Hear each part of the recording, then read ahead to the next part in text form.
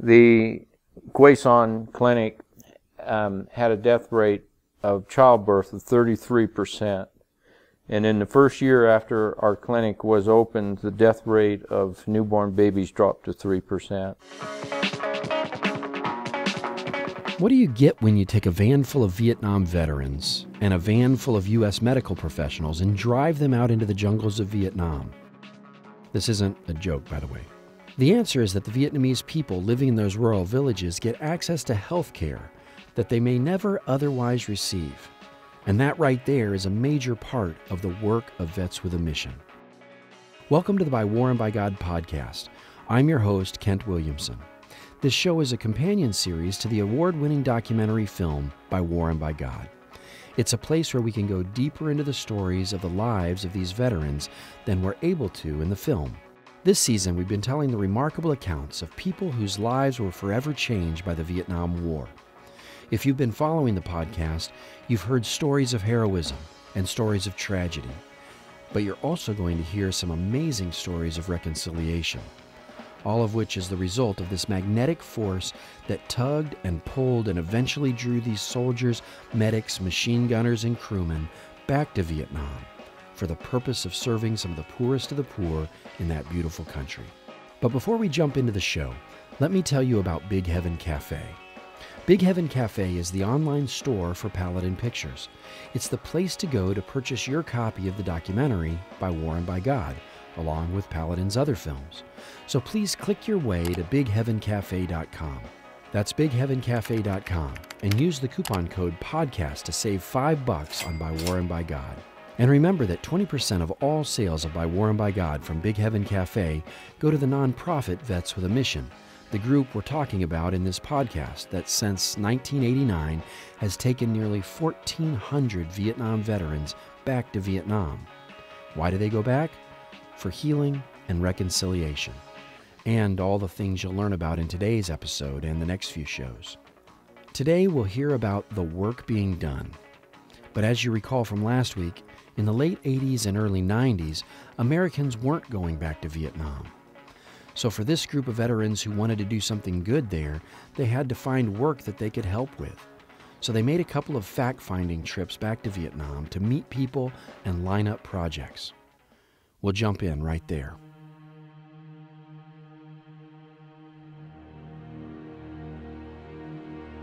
Well, on the first trip, they had made contact with a Catholic nun, Sister uh, Jean Marie, who had run by herself a polio orphanage in Saigon. This is Phil Carney. She had no support or help, but she gathered up all of the polio orphans off of the streets and did her best to care for them. And that was the initial contact Vets with a Mission had made on their first trip. So on the second trip that I was on, there was a small project to build a uh, pool, a swimming pool, for some water therapy for her kids, as well as bring different supplies and and so on to help that pull. So the the thrust of that trip was the polio orphanage in uh, Saigon. Polio, or poliomyelitis, is a highly infectious viral disease that storms the nervous system and may result in total paralysis within hours. According to the World Health Organization, polio has decreased globally from an estimated 350,000 cases in 1988 to only 37 reported cases in 2016, due largely to vaccination efforts. Vietnam was certified as being polio free in the year 2000, while the United States became free of the disease back in 1979. We built one of our early clinics in the Que Son Valley. This is Bob Paragallo. The health center had a general care facility, it had a dental unit, and it had a birthing unit. The Que Son Clinic um, had a death rate of childbirth of 33%. And in the first year after our clinic was opened, the death rate of newborn babies dropped to 3%. And our investment in that commune was $12,000 for this health clinic. And so a $12,000 investment in this rural area that served 33,000 people, um, that's a lot of bang for your buck. The clinics that we work at. This is Vets with a Mission Medical Director Mike Bernardo. They're usually well maintained um, brick or concrete cement structures Describe the conditions. Fairly sterile. When I say sterile, I don't mean sterile in terms of uh, germs, sterile in terms of the amount of, of um, things there to sort of soften the, the features of the, of the rooms. Usually there's a maybe a chair or a couple of chairs or just a wooden bench or a, or a wooden bed. Uh, so fairly sparse, but not a lot of supplies, not a lot of medications, certainly not, not a, any medications, most of them are very few. Uh, some basic supplies, but not a lot, and not a lot of equipment. The conditions in Vietnam are not unlike a lot of other conditions. You go to a village that's uh, sort of a shock at first, but after a period of time, you begin to realize that this is not unusual in terms of third world uh, treatment and what you see. This is Tom Love. We go out to the rural parts of the country. We're not in the big cities. You really see the poor people and the primitive uh, situation they live in. Uh, single room homes, they're dirt floors. Uh, they have little or nothing. I mean, little or nothing. You look around and, uh, and they have nothing. Maybe they have a set of clothes that they're wearing. Maybe the second set of clothes is on the line, uh, drying from the washing. Uh, their kids are happy and joyous uh, with what little they have, and I think that really touches you. But I think uh, overall, it's, it's, it's, it's a struggle, and you see the wrinkles on the, on the hands and the feet. You know that they're backbreaking jobs of planting rice and they're stooped over. We've observed them as, in the fields as we, as we pass by in a bus.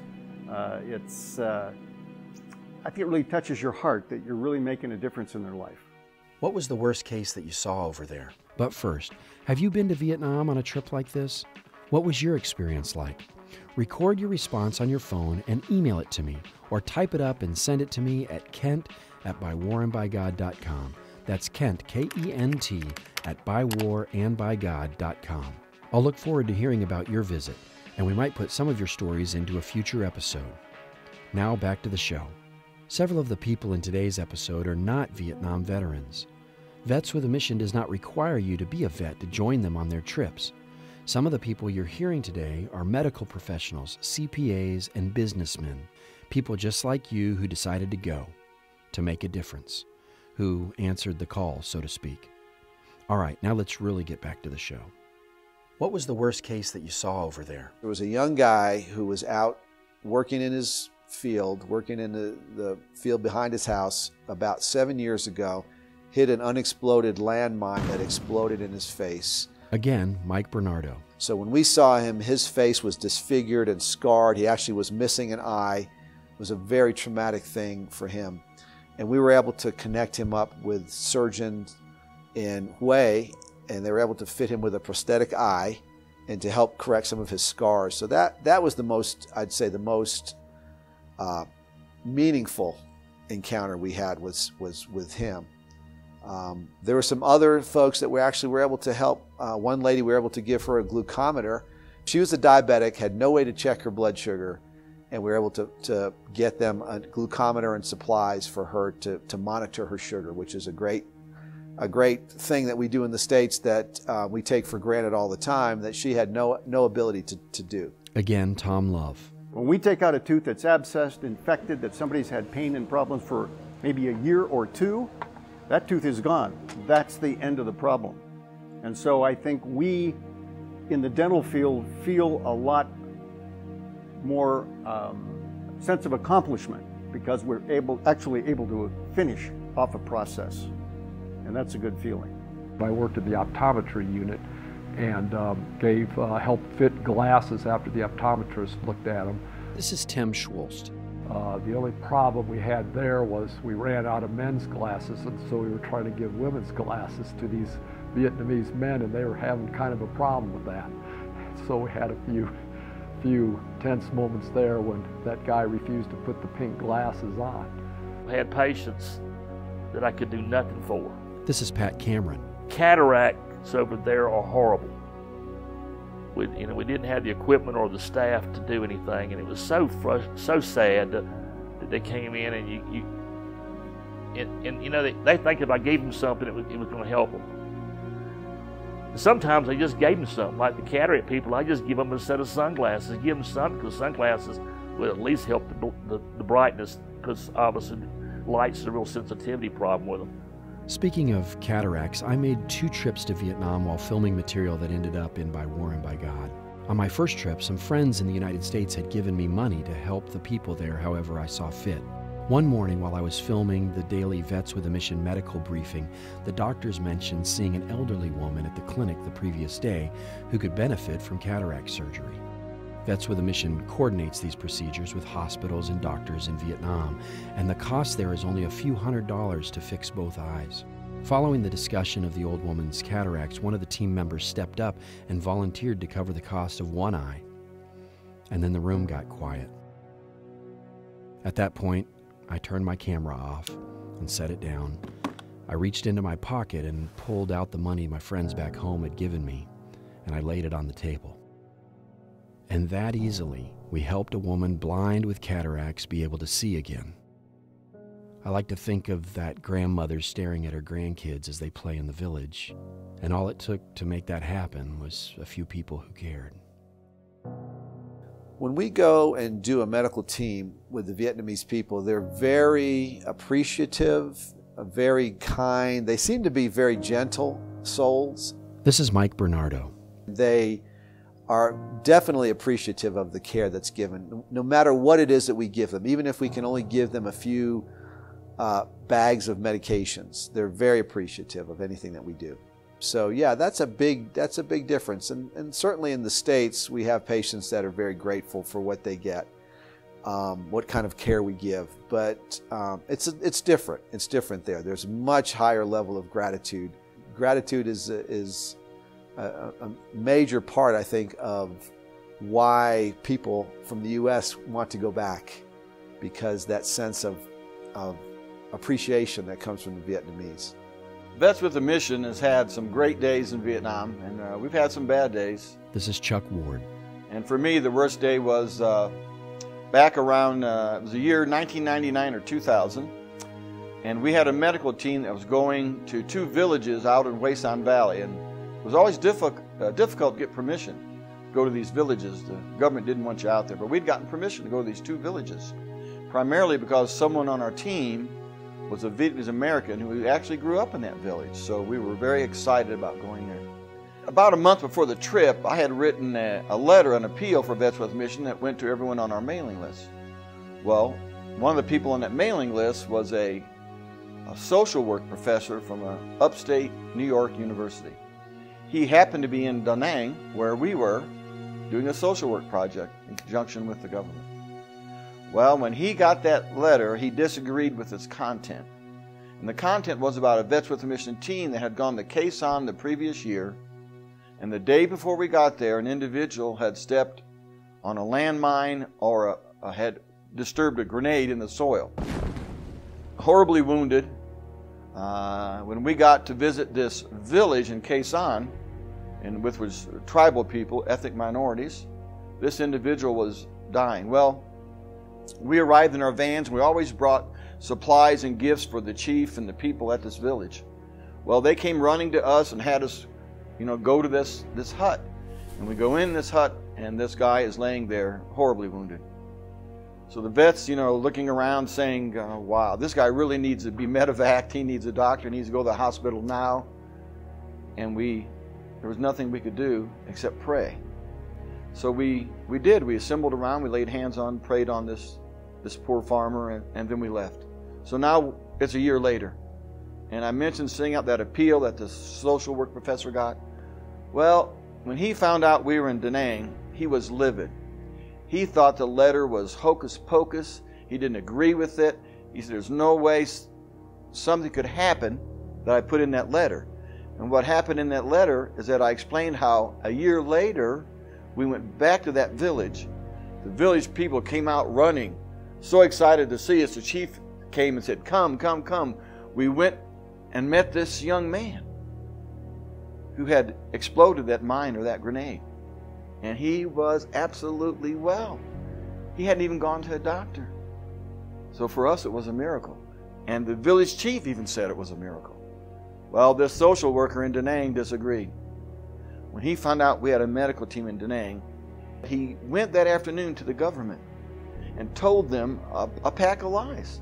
that we were going to distribute Bibles when we saw the patients, that we were going to pray for every patient, we were going to try to do miracles. And of course, that just freaked the government out. And they canceled our visit to those two villages. And because of that social worker, two villages, approximately 1,200 people, received no health care. And they stopped our team from working for two days, and we just sat around the hotel. And it was, that's one of my worst days in Vietnam with Vets with a Mission. What are some of the most exciting things you've seen Vets with a Mission be involved in over the years? But first, we're giving away the soundtrack to the film By War and by God. So if you like the music you're hearing, go to bywarandbygod.com, click on the soundtrack item on the menu, and download all eight tracks of Will Musser's score. It's free. I'd be grateful if you did two things. First, tell a friend about us. And second, leave us a review on iTunes. Your words will help others know that this show is worth listening to. Thank you. All right, now let's get back to this episode. What are some of the most exciting things you've seen Vets with a Mission be involved in over the years? We've built well over 25 medical clinics. The fact that now we're going back and um, staffing those and training those, that's exciting. This is Jim Proctor. Because the organization's always been trusted by the Vietnamese authorities, they've allowed certain latitudes and us to do certain things that maybe some other organizations haven't. And one of those was printing Bibles. Vietnam has had a lot of people when it first started opening up in the late 80s and 90s that wanted to go in there and, and work on projects and do things. But it was for the splash in the pan, the, the effect. Um, and sometimes those people uh, would, would complete a project and then leave. I mean, there are stories of well known um, evangelist, well known nonprofit type people that would go over there. And it was a, lot it was a more of a, PR type thing. And they would do some work, but then they'd leave and you know, everything would go back to normal. That's what the mission has always been low key. We don't care if we get the big press and the big, uh, the big recognition. And we just do what we're supposed to. And over a period of well into five to 10 year period, we, we had had that trust with the Vietnamese government as much as a communist government will trust people because the pendulum swings back and forth as to whether how much they trust you and what their comfort level is. So we just always built up that track record that we did what we said we were going to do. And sometimes to the surprise of them because they, our projects got done quicker, sometimes under budget. Um, they were first class. I mean, some of our medical clinics and, have become uh, prototypes for the uh, country. So, from that respect, um, we had the credibility, and that has allowed us a certain flexibility to do things like even at one time to print Bibles. Again, the pendulum swings. I think there's been times when they've been more open to allowing some evangelism or some evidence of Christianity, and there's other, other times where that's just not an option. You just don't even bring it up. I had uh, probably some of the most memorable experiences of my life. This is Dave Carlson. What I didn't expect was to get the opportunity to actually see the results of some of the work that we were doing. On that trip was my first opportunity to see what Vets with a Mission was accomplishing with our vets. To me, it was all about doing something in Vietnam for the Vietnamese. But there, were, there was one individual on our trip who had not had a night's sleep in 30 years since he left uh, the war. Uh, he had some real serious issues. His whole goal in going on this trip was to be sure to visit the field where his best friend died. And I'm sure he had tremendous survivor guilt. Of course, a lot of these veterans went home believing they had destroyed a country, believed they had destroyed a people. And instead, when he landed in, in Saigon and spent the first couple of days there, something inside of him healed. He slept like a baby for the first time in 30 years. He came away no longer really wanting to see where his friend was killed. He wanted to do something positive for the country, but he was relieved of the guilt that he had been carrying for decades that he had destroyed these people or destroyed this culture. And he hadn't. They're wonderful, they're beautiful people, they're loving, they're fun, they're full of joy. And he walked back into that and said, then it's all okay. And he could sleep. And I had never known the therapeutic value of going back to country that these veterans were uh, having an opportunity to, to participate in. Since I wasn't a vet, I really couldn't understand that, but I got to see it firsthand.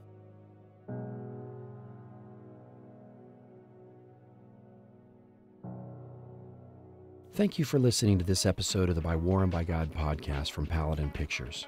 A quick reminder to subscribe to the podcast so you don't miss an episode. Please tell your friends about us. You and they can learn more about By War and by God at bywarandbygod.com. Don't forget to use the coupon code PODCAST at BigHeavenCafe.com to save some cash on your copy of the film. You can also watch By War and by God for free if you have an Amazon Prime account. Find me on Facebook or Twitter. Just search for Kent C. Williamson, and while you're there, search for By War and by God and like or follow us. Please email your thoughts about the show to kent at bywarandbygod.com. The film will screen on Friday, May 5th at the International Christian Film Festival in Orlando, so check it out if you can.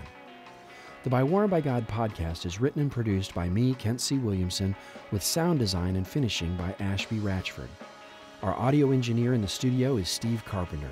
Thanks also to my brother Brad Williamson, who helped record the interviews in today's episode. The By War and by God soundtrack was composed by Will Musser, and for a limited time, you can download the soundtrack for free at bywarandbygod.com. Thank you to the entire Paladin team, which includes Leslie Wood, Steve Carpenter, Dan Fellows, Steve Lessick, and Ashby Ratchford. This podcast is a production of Paladin Pictures. Yep, Paladin is a film production company that sees the value in audio podcasts. Why? Because, like is the case with By War and by God, the podcast can go deeper into the story than the film ever can. Paladin Pictures is committed to the creation of redemptive entertainment and thought provoking cultural critique. Learn more about us and our films at paladinpictures.com. That's Paladin, P A L A D I N, pictures.com. By War and by God is produced at the Paladin Studio in the amazingly wonderful, beautiful little town of Charlottesville, Virginia. And of course, thank you to our veterans, those who returned, and especially those who didn't, like my wife's Uncle Floyd. Thank you. Next week on the By War and by God podcast. I tell you, a smile goes a long way. I can be hot and sweaty and miserable, but when that person looks at me and smiles, and in their smile they're saying thank you, it doesn't get any better than that. And sometimes I'll have this kid come in with club nails and, and they're cyanotic, and I know full well they need heart surgery. I'm the guy that can send them to the doctor and get it started, and we can save that kid's life. So, I mean, that's priceless. This old mama san had found her way, and she got up behind me and she tapped me on the shoulder. And it just startled me. And I remember standing up and spinning around, and I had that can of C-rations in my hand. And I was so angry at her uh, because she scared me and startled me. And I, just out of my anger and frustration, I took that can of C-rations and I threw it at her. And I hit her right in the chest. I hit her as hard as I could with that can of C-rations, and she just crumbled.